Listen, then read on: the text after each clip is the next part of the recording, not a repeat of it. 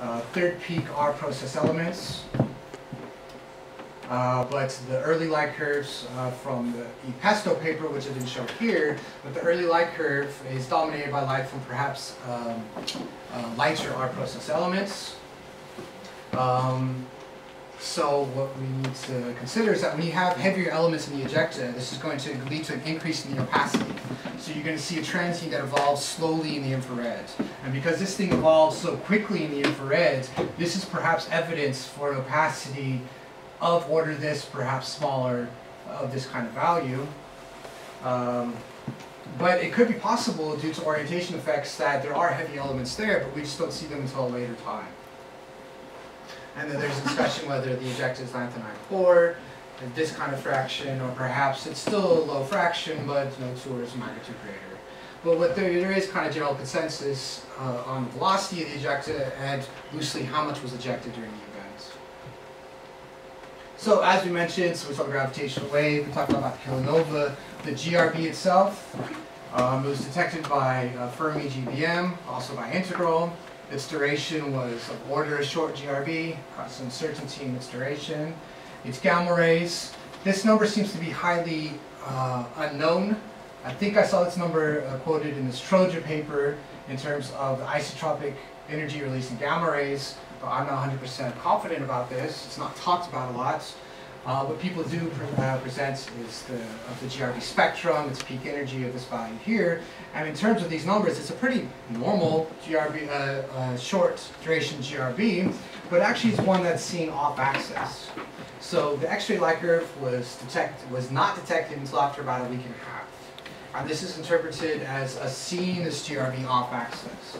And when you start modeling millimeter, submillimeter radio observations as well as the X-ray, you can come up with a couple scenarios where we're seeing this, this off-axis GRB jet, which might have an energy in this range. Might have a half opening angle of these values, and it's really hard to distinguish between these two scenarios. And we're misaligned. We've got a viewing angle of anywhere, say, 15 to 40 uh, degrees, something like that. And an independent analysis of Swift UVOT and NuSTAR data, they also uh, suggest a viewing angle of about 30 degrees. And last but not least, there's been a lot of questions about the remnants left over. Could it be a hypermassive neutron star or a black hole? We simply don't know.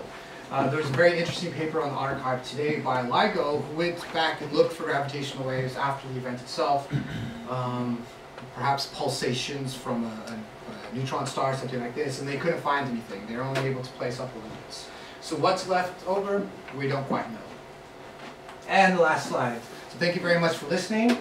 What I would want you to take away from you today is that we've had this amazing gravitational wave, GRB, electromagnetic events, where for the first time we've both seen and heard an astrophysical event.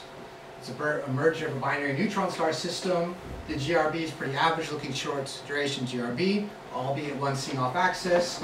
And we have for the first time obtained this amazing spectroscopic data of a kilonova. In terms of long duration GRB supernovae, they're very rare, they're very bright, they're very energetic. I would argue that they are powered by radioactive heating, except for 2011 KL, which is magnetar powered or a combination of all physical processes.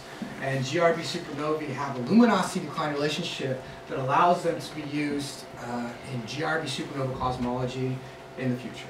So thank you very much.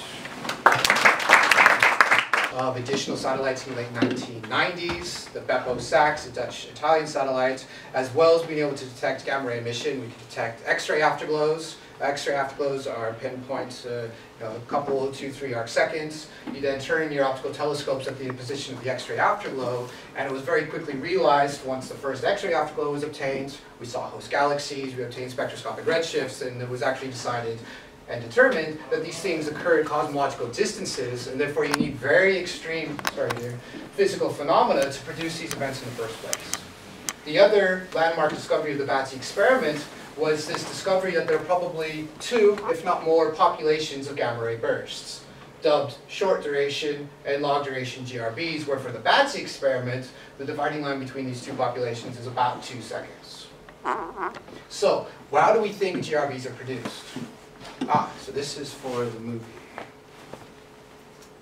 So here's an NASA animation of how we think a GRB is produced. Here we have a collapsing, uh, the, the core the massive star has collapsed, it's created a black hole, an accretion disk is, disk is formed, and this accretes material onto it, leading to a pair of bipolar jets being created.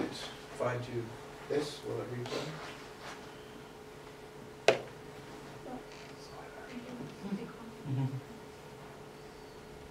Far. There we go. And so within this uh, ultra-relativistic jet, you have blobs of material that interact with each other, and this is what leads to the generation of gamma rays. Actually, in the co-moving frame, they're, they're generated mostly as uh, mostly as X-rays, but because the Doppler shifted towards us, we detect them as gamma rays. Now, as this blob, these blobs of material collide with the, inter, with the surrounding material, the surrounding medium, we have another set of shocks that are created. We call this an external shock wave, where electrons in this material are heated up, and then they cool very rapidly and release that energy in the form of synchrotron radiation. So this is how we think a general GRB is formed. And actually, this part doesn't matter. All you need is some physical process to be able to generate a pair of bipolar jets so that you end up having interaction material within that jet leading to the generation of the, um, of the gamma rays in the first place. What do we think produces this scenario? Well, here we can see a collapsing massive star. I'll come back to that. Oh, one. And the first scenario for short duration GRB, the proposed scenario is a, a, a binary system uh, consisting of two compact objects. One of them needs to be a neutron star, and here we can see that they orbit each other, and as the orbital separation decreases, that energy is released as gamma rays, and here we have this energetic explosion. So we saw the jets being propelled off into space very quickly. We have this supernova-like transient left over afterwards, and then the collision of this jet with the surrounding medium, producing the afterglow at X-rays, radio waves, optical, so on and so forth. Okay. So, oh, should probably stay here because for the next animation, we're going to show how we think a long duration GRB is formed. I'm not going to worry too much about that, but here we have the core collapse of a massive star. The star has retained a lot of angular momentum at the time of collapse. This is, and then when the core finally collapses underneath its own weight, the angular momentum is translated uh, into the formation of an accretion disk. And then, as we said before, uh, accretion of material from the disk onto the compact object leads to this pair of bipolar jets being uh, created, which then drill through the star and escape out into space. And if we happen to be somewhere near the line of sight of this jet, we'll see it as a long duration GRB. Okay, great. But how do we know that's the case? These are very nice theoretical scenarios, some really pretty animations, but how do we actually know what we know? Well, up until the end of last year, perhaps even up until uh, uh, August of this year, we kind of knew where short GRBs came from, but we weren't 100% sure. We can't, we can't um, image these systems directly. We have to, infer it indirectly from the observations. I'll come back to SGRBs in, in, a little while, but what I want to talk about now are long duration GRBs. Why do we know that they uh, arise from the core collapse of a massive star? Well, it's because when you look at the position of a GRB and you can localize it very precisely, when you then look, you might see an X-ray afterglow, you might see an optical afterglow, and what appears after a little while is a supernova. So here is one of the most famous cases, 980425, and its associated supernova 1998 BW. This is a type 1c supernova. This means we don't see any hydrogen or helium lines in its spectrum, in its spectra, I should say. Um, and to date, this was the first hint that long duration GRBs arise from the core collapse of a massive star. And after 20 years, it is still our best example of this scenario. After 20 years, this is still the closest event. So uh, very small redshift, it's a linear distance of about 3840 megaparsecs of that order.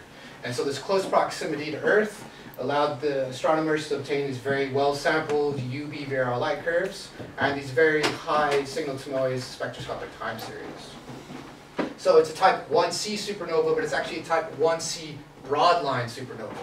And what I mean by that is that material within the ejecta moves at very large velocities. At peak light, the material can still be moving at 20,000, even 30,000 kilometers per second. So there's very large velocity dispersions of the elements within the ejecta, which causes these spectral features, when the velocity is high, to merge into each other. So we see these very broad absorption features, especially early on in the photospheric uh, spectra. But although this was a very nice um, hint at the connection of GRBs with the core collapse of massive stars, uh, there's a lot of questions raised because in terms of its energetics in gamma rays, it's actually under energetic and under luminous compared with the typical GRB, uh, typical long duration GRB. It's under energetic by a few orders of magnitude and under luminous by a couple orders of magnitude. So as soon as this thing was detected, we had to ask, actually ask ourselves, was it actually representative and a good proxy of all long duration GRBs, or was this just a special event in the local universe and long GRBs arise from something a little bit different? So uh, fast forward another five years, and here we have cosmological GRB 030329. This is a very peculiar, really, event in terms of its optical properties, but in terms of its uh, gamma ray properties, it's a normal long duration GRB. Its energetics is in excess of 10 to the 52 ergs. Its luminosity is exactly what you expect for long duration GRB. And its distance of almost 0.17 at a distance of 7, 800 megaparsecs means that in terms of its distance and its energetics, it's a real cosmological GRB. And it is actually, and it had an associated supernova, 2003 DH. And so in this spectroscopic time series here, here we have 2003 DH, and plotted for comparison, thanks to the excellent data set obtained of 98 BW, which we use as a reference point for every other GRB supernova detected since then, we can see that for a similar post-explosion epoch, the shape of the spectra are pretty similar. So and when you decompose the optical light curve, so here is light from the afterglow. This thing decays with power law-like behavior, synchrotron radiation. And when you try to quantify the behavior of this light curve, you can see it's a combination of a decaying power, uh, afterglow and light from an accompanied supernova. And again, 1998 BW is used as a template. So for lack of a better phrase, a better term, this was a smoking gun confirmation that all long duration GRBs arise from the core collapse of a massive star. And since then, very fuzzy, but you can take my word for it, when I started putting this list together for the review in the middle of 2015, there were 46 events. And because these things occur over a wide range of redshifts, from very nearby, as we saw for 98 BW, all the way up to say a redshift of 1, another one here, we have different degrees of the quality of that obtained uh, uh, data sets. In fact, some of the best data sets that have been obtained of GRB supernovae have been over the past five or 10 years, and using excellent telescopes, large aperture telescopes such as the GTC, and the program that uh, Antonio established here in the HEF group. So this is probably missing a couple events, but this is our contribution to the GRB supernova field over the past half decade or so. So we've had a Nature paper on a very peculiar event, as well as several other publications that have performed in-depth investigations of different GRB supernova. So in terms of HEF's contribution, Spain's contribution to GRB supernova science, we've been very produ uh, productive and we formed a large part of the analysis in local in recent times. So um, if you're interested, a lot of the data are available on Antonio's website, and you can of course ask me for more information on these events. So more in the general properties of GRB supernovae, here's a mosaic of what a lo typical long duration GRB supernova looks like. Now what we need to keep in mind is that we need to be able to remove it. Then the second component is light from the opt optical afterglow, which is bright early on, but it fades away according to a power law. And then the third component is light from the supernova itself. So what we're looking at in this mosaic here is we've removed the host light. So we're just looking at light from the afterglow and then from the supernova. And here, here's a really nice example, 1302A. This one here where we see this broken power law behavior of the afterglow and then the onset of light from the supernova itself. And then we can see this behavior repeated for many other events. Spectroscopically, so we have again um, 1998 BW and then all of the spectra that were published to date of GRB supernovae. It's not a lot actually. And these are obtained as close to peak light as, as was possible to obtain them. And we can see that for the most part, in general, the, the, the spectra of GRB supernovae kind of match that of 1998 BW. There's a general kind of behavior there. There is one notable example, however, and this is 2011 KL. Now this is a very unique event, and I'm going to come back to this a few times within the talk. This was associated with a very interesting GRB, which we call an ultra-long duration GRB, where the duration of the prompt emission, that burst of gamma rays, wasn't just 5, 10, 20, 100 seconds, it was many thousands of seconds. This is a very interesting uh, case. And what we can see here that, unlike the other spectrum, where we can see some undulations associated with the absorption of different features in the, in the, in the supernova ejecta, this thing is very flat and featureless. Very flat here, and then the, sh the sharp decrease bluewards of about 3,000 angstroms. This hints that the, this gives us a hint that the physical processes that power the luminosity of GRB supernovae in this event is different to all other events. And I'll come back to this later on. Uh, the other thing that the spectroscopy is telling us are some properties of the, the progenitor star at the time of explosion. So as I mentioned before, GRB supernovae are type 1c. There's no hydrogen lines, there's no helium lines, and so we attribute this to the fact that the progenitor star at the time of explosion has lost both its hydrogen and its helium envelope. So that when this star explodes, it's very compact. And this makes a lot of sense to us because for uh, the, the jet that's created by the central engine, which operates typically maybe 20, 30 seconds, if you have a central engine in a star with extended hydrogen and helium envelopes, that jet will not operate long enough for it to bore through the star and escape out into space. That jet will explode somewhere on the inside. Whereas if the star is very compact and operates for 20, 30 seconds, that central engine can power that jet long enough for it to escape into space and then generate the prompt emission far away from the exploding star.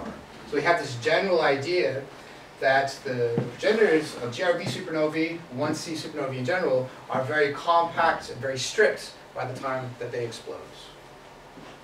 So another nice mosaic from Alex's paper on 2011 KL. And if we bring attention to 2011 KL here, we can see that in terms of its bolometric luminosity, it's much brighter than the other GRB supernova sample, uh, supernovae that Alex has considered in this paper. And we can see for the most part that GRB supernovae near peak light kind of cluster near this peak value of 10 to the 43 ergs per second, a luminosity uh, of 10 to the 43 ergs per second. There are some exceptions.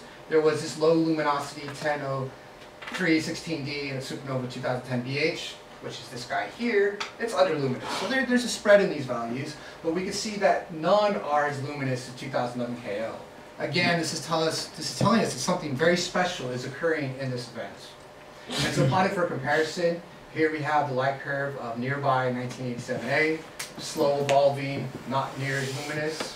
And here we have the bolometric light curve of a type 1c superluminous supernova. This is 2012 uh, DAM. Yeah, here we go here. We can see it evolves much slower, and it's about an order of magnitude more luminous than your typical GRB supernova.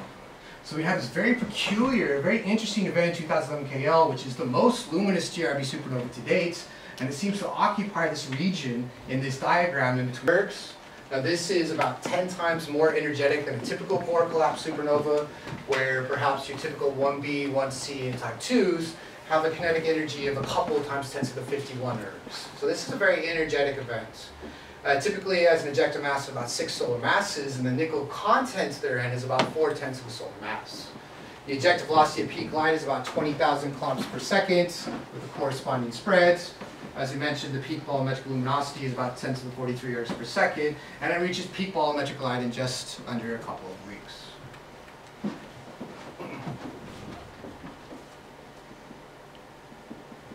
So now I want to take a couple uh, close looks at a couple different types of phenomenology about GRB supernova. And the first thing I want to ask ourselves is that we can determine what are the physical processes that power their luminosity. The obvious candidates are radioactive heating and emission arising from a millisecond magnetar central engine. So in the radioactive heating scenario, during the core collapse event itself, you have a certain amount of radioactive nickel that's nuclear synthesized, a few tenths of solar mass, and as that nickel decays into its daughter products of cobalt and into iron, it releases energetic gamma rays. These gamma rays thermalize in the ejecta, causing it to heat up and thus shine.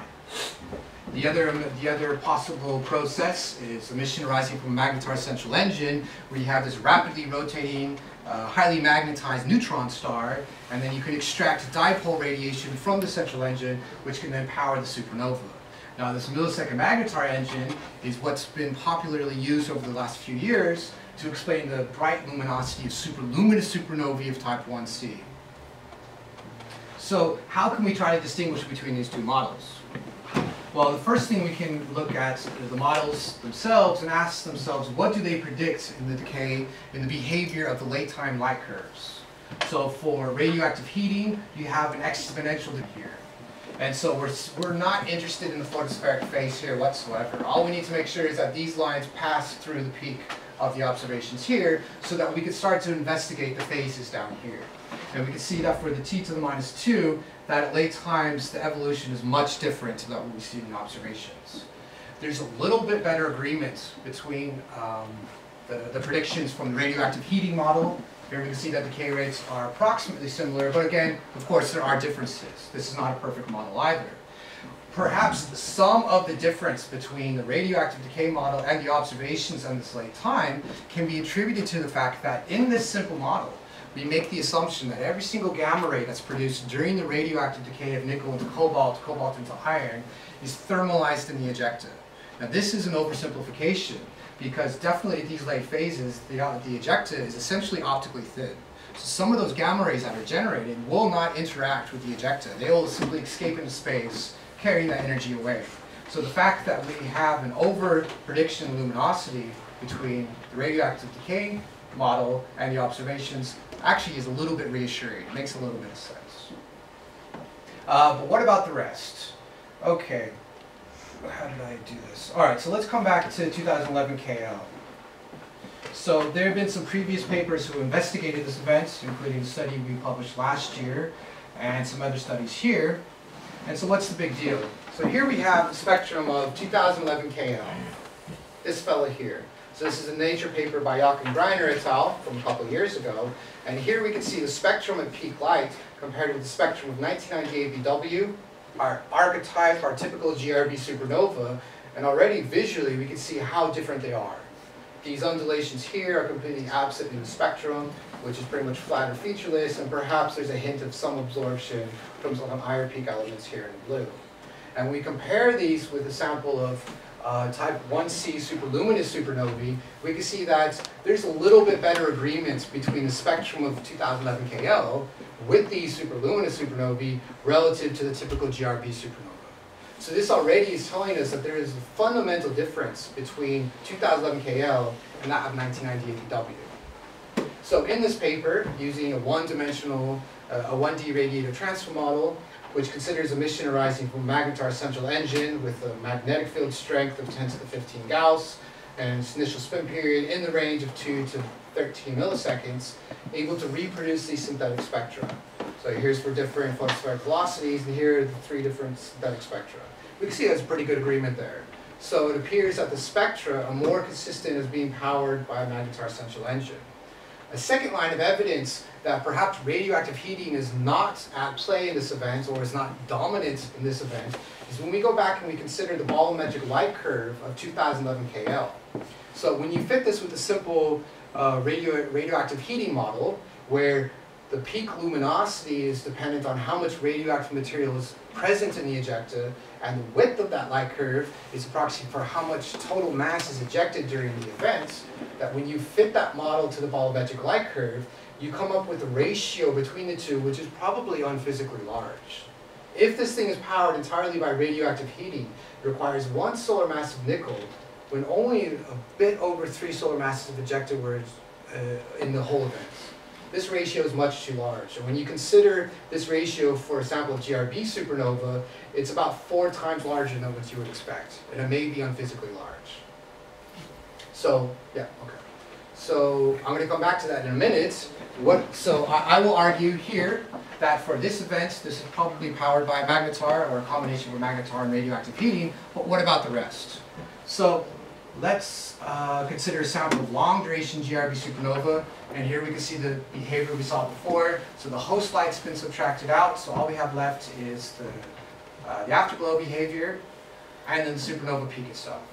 And so I want to take a step back. We want to ask ourselves, can a millisecond magnetar model, can a millisecond magnetar be responsible for powering all phases of this GRB supernova event, both the afterglow and the supernova itself? And so what the model considers is that, if you remember our animation where the jet slams into the CSM, and it creates uh, the initial afterglow which starts fading away. We have this initial event here, which is dictated by this uh, dashed gray line. And this is then going to be powered by a millisecond magnetar, where the millisecond magnetar powers this event for a long period of time. Maybe it's a few days, maybe it's a week, maybe it's a month, something like this. Just as like we've um, invoked for superluminous supernovae. And we have a physical scenario that early on, when the when the, the, the, the central engine is very energetic and its spin period is still very fast, it's able to maintain the collimation of the jets through the ejecta. So for a certain period of time, these jets are very collimated and they can drill not only through the, the star itself, but also through the supernova as well, thus powering the afterglow very far away. But over time, as this uh, central engine spins down and it's losing energy, it loses its ability to maintain the collimation of the jets. So the jet starts to wobble, the jet starts to spread out, and it loses its ability to drill a hole through the supernova itself, instead it deposits that energy via these wider jets into the expanding supernova remnant itself. So we have a scenario where we have an early afterglow powered by energy injection from the, from the millisecond magnetar, but as it loses its ability to maintain that hole in the ejecta, it then powers the subsequent supernova. So the sum of these three components, the magnetar-powered supernova, the magnetar-powered afterglow, and that initial event when the jet collides with the CSM, these three combine to create this red, uh, solid red line here. And as you can see, we have a very nice agreement early on for the, for the afterglow phase, but the supernova is underluminous. And in this case, it's underluminous by a factor of 3.5. So if we multiply this phase by 3.5, which translates to about 2 tenths of solar mass of nickel, we can then get the model to reproduce the observations. So what we could say here is that in this simple model, the energy from a millisecond magnetar is not enough to power all phases. You need an additional source of, of energy here, which I would argue comes from radioactive heating. Um, skip that. So reproduce this analysis on a small sample of long duration GRBs. So here's the uh, magnetar-powered afterglow, the initial collision, the magnetar-powered uh, supernova, and this red line is the sum of these three components. And as we can see, in five of these six cases, this red line here is not luminous enough to match the luminosity of the supernova during the supernova phase. There is one exception, however. our ultra long GRB 111209A. So in these normal, what you call normal long duration GRB supernovae, you need an additional source of heating to power the supernova phase, uh, which is anywhere in the range of say a tenth and a half up to four tenths of solar mass of nickel. And I'd just like to point out, as we showed in the paper, that you cannot fit 1998 BW by the magnetar model alone. You still need an additional source of heating. And same applies for 2010 BH. Okay, so as you might have saw in the plot, the one um, scenario, the one event where this model does seem to work is for this very uh, ultra long, very strange, ultra long GRB 111209A, and its supernova 2011 KL. And in fact, the model during the supernova phases overpredicts the luminosity by a factor of about 10%. And so in our modeling, here's our best fitting parameters for the diffusion time scale, the initial spin period of that central engine, and the magnetic field. And we can see that there's pretty good agreement between the different analyses. So in our analysis, that in the Nature paper, the supernova component is powered purely by a magnetar. Whereas in these two papers down here, they make an assumption that there is already during the explosion two, uh, two tenths of a solar mass of radioactive nickel there to help power the supernova. So for this, for all long duration GRB supernovae, well, okay, this one event, you could argue that's powered purely by a magnetar, or you could argue that's powered by a combination of a magnetar and radioactive heating. But what we could say with quite a lot of confidence is that it's not powered just by radioactive heating. This is the supernova component. Whereas for long duration GRBs, you could argue that the supernova themselves are powered just by radioactivity. Okay, maybe you could argue for a combination of a magnetar and radioactivity. But what we could say with a high degree of confidence is that GRB supernovae, the supernova component itself, cannot be powered exclusively by a magnetar central engine. okay, I'll try to push on a little bit. So this is the last aspect about long duration GRBs I want to talk about before I move on to today's main event. And I want to talk about GRB supernovae as cosmological probes, as standardizable candles. So just a little bit of background. Here we have a very uh, plot from a very famous paper by Adam Riess et al. from 1998, where they have used type 1a supernovae here in a Hubble diagram to try to work out uh, the energy and mass uh, densities of the cosmos. And for these different methods for calibrating the supernova 1A, supernova 1A are not standard candles. They have a range of luminosities, but they are standardizable because there is um, there is a link between the peak brightness and the shape of their light curves. And so when you correct for this, uh, when you correct for this using different methods, you can reduce the amount of scatter in your Hubble diagram and try to distinguish between the different models. And as we are all aware of, the model that the best fits the data is for something like uh, a quarter uh, uh, mass dominated by dark matter and three quarters dark energy, all the way back in 1998. And so why are these things standardizable? Well, they're standardizable because of this relation between the peak uh, luminosity and the shape of their light curves. So here is a plot from another famous paper by Mark Phillips in 1993, where we're looking at for a sample of type 1a supernovae, their absolute magnitude, so brighter down to fainter, versus this delta M15 parameter, which is basically a measurement of how fat or how skinny the light curve is. So for those of that you don't know, this delta M15 parameter is basically a measurement of how much the light curve fades from peak light to 15 days later. So light curves that are fatter are going to have a smaller delta M15, they're going to fade less over 15 days over those that are skinnier, which are obviously going to fade more over this 15-day period. And what we can say, see here is that there is a correlation between the, the brighter supernovae fading slower and the fainter supernovae fading a lot faster. Okay? Um, and so this is called the Phillips relation, and it's also called the luminosity decline relationship. And because supernovae 1A have this, uh, this characteristic, we can first calibrate them to the luminosity decline relationship, put them into the Hubble diagram, and reduce the amount of scatter that we see here. Well, interestingly, it turns out that GRB supernovae also have a luminosity decline relationship. So different observables, be fader supernovae and a stretch factor, skinnier, fatter light curves. So we can see as well that they also have a luminosity decline relationship. Brighter supernovae fade slower. What is this K and this S? Well, if we recall the mosaic from several slides ago of the long duration GRB, so there are three phases of light here, three sources of light here. There's light from the host galaxy, there's light from the optical glow, and light from the supernova. So if we subtract the host magnitude, host flux off, we result in this diagram here where we can see the very clear supernova bump. So for this event, this is GRB 090618. This is a cosmological GRB. It's a redshift of 0.54. And at 0.54, rest frame V band just happens to be redshifted in between observer frame R band and I bands. And we're interested in the precise rest frame properties of these supernovae. We want to know how does it evolve with this rest frame B band, rest frame V, so on and so forth. Well, for this 4-1 event, we can determine what it's doing in precise B bands. So for each one of these epochs, we create uh, spectral energy distributions. We then interpolate to rest, uh, redshifted rest frame B band, extract out its flux, and then recreate its B band light curve. And then because we're interested in the properties of the supernova itself, how bright it is and how wide the supernova light curve is, simply model the afterglow with the phenomenological model, this broken power law, the synchrotron radiation, you subtract that away, and then you're left with the supernova light curve.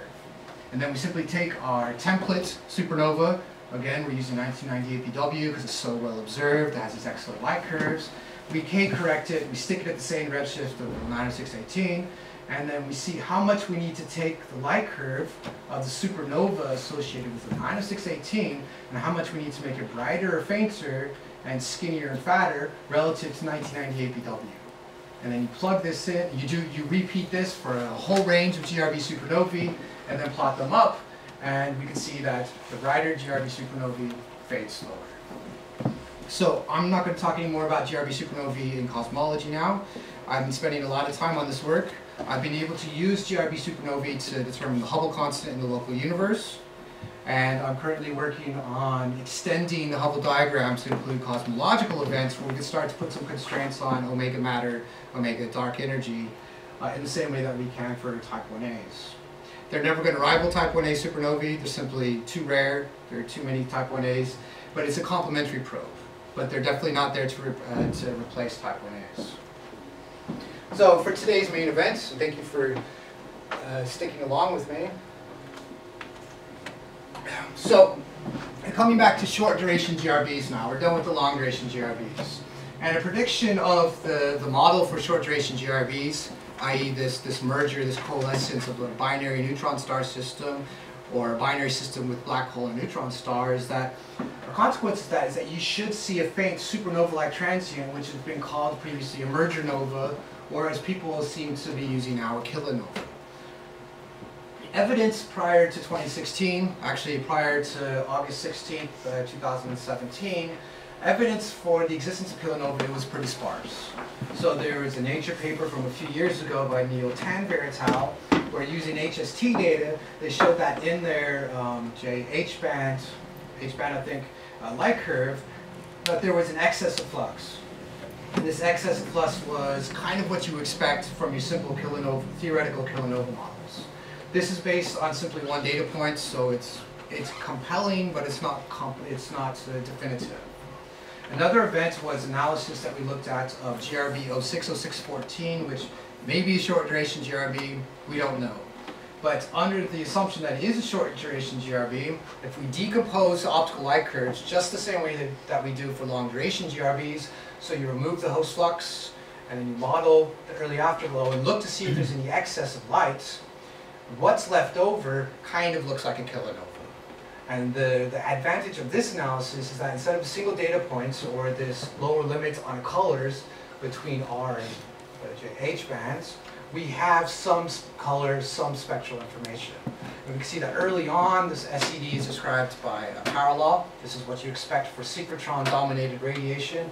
But over time, so here we've got a week, here we've got almost two weeks, that it steepens, and then you fit this with a combination of a, a synchrotron spectrum and Planck spectrum, you come up with temperatures of about 3,000, 2,500 Kelvin, which again is what you loosely expect for a kilonova model. Again, it's kind of interesting, but it's not definitive. And then we had the 17th of August this year, where we had uh, for the first time, discovery by LIGO and Virgo, not of a binary black hole system, but this time it was a binary neutron star system. And this thing collided and coalesced. The event lasted about 100 seconds. I'm going to put the movie on in seconds. And this was for the first time that for an astronomical event, so I can't, I can't overstate this, that we have both gravitational wave information of an event and electromagnetic radiation of an event. You know, this is, this is very amazing.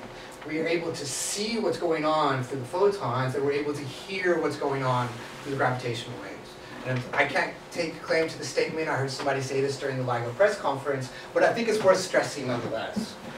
So here's a timeline of the different discoveries. So this, the, the, the detection of gravitational waves, and then when it was published to the community, the detection of the gamma ray event, so Fermi GBM, 1.7 seconds after the, GR, uh, the gravitational wave was detected by LIGO and Virgo, which happens to be the brightest, loudest event that they've heard to date, there was a GRB detection a couple seconds later. And that GRB lasted about two seconds, give or take half a second. Um, so the, the, localization was uh, published to the world, then we turned our different telescopes, saw nothing in X-ray for ages, eventually saw something after about a week and a half, UV, and then finally optical was detected 10, 12, 14 hours, something like that.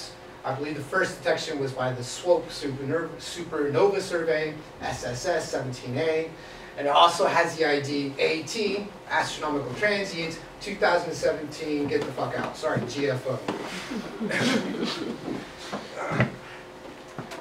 okay.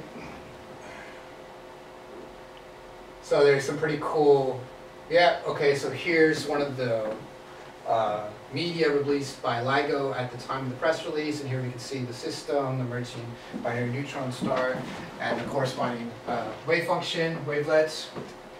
And I think this thing was detected for like 100 seconds, so they got it on the inspiral, and then the merger and subsequent ringdown.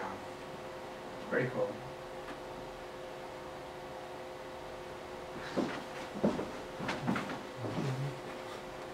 And then I want to show another animation, uh, but this time show what it's like to try to chase up a gravitational wave. So here's the, the Fermi GBM error box, already kind of big. Wait, ah, the INTEGRAL error box is huge. Good luck. and then we have the LIGO banana, I think, in a second. Here we go, so we have an overlapping region here. And then there's the combined LIGO and Virgo. And I think the Virgo took a little bit of time because this uh, gravitational wave occurred uh, in a blind spot of the Virgo instruments. So I don't know how they did it, but eventually they came up with their own detection. And then within that error region, which is about 28 square degrees, there's this inconspicuous looking S0 galaxy 4993. And is that the kilonova? There.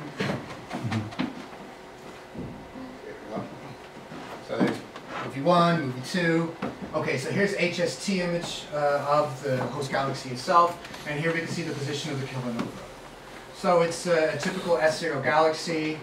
It's at a distance of about 40 megaparsecs, and I guess I didn't say previously, but the modeling of the, the gravitational wave uh, itself uh, came up with these parameters. Uh, one component, when you make assumptions about its inclination angle and the rotation, spin, things like this. One component was about one solar mass, the other one just over two solar masses uh, for the two neutron stars. And its luminosity distance was predicted to be 40 plus or minus 40 percent, megaparsecs plus or minus 40 percent. And within this, this was this. Uh, also want to point out that the sky region at 28 square degrees is huge. Uh, this, this is huge, right? But compared with previous events, when we were looking for electromagnetic radiation with the binary black hole mergers, where this error box was a factor of 50 larger. We're talking 1,200 square degrees, 1,400 square degrees. So 28 square, square degrees, as well as a distance constraint, this really allowed us uh, a really great possibility to try to find any optical uh, counterpart associated with this event.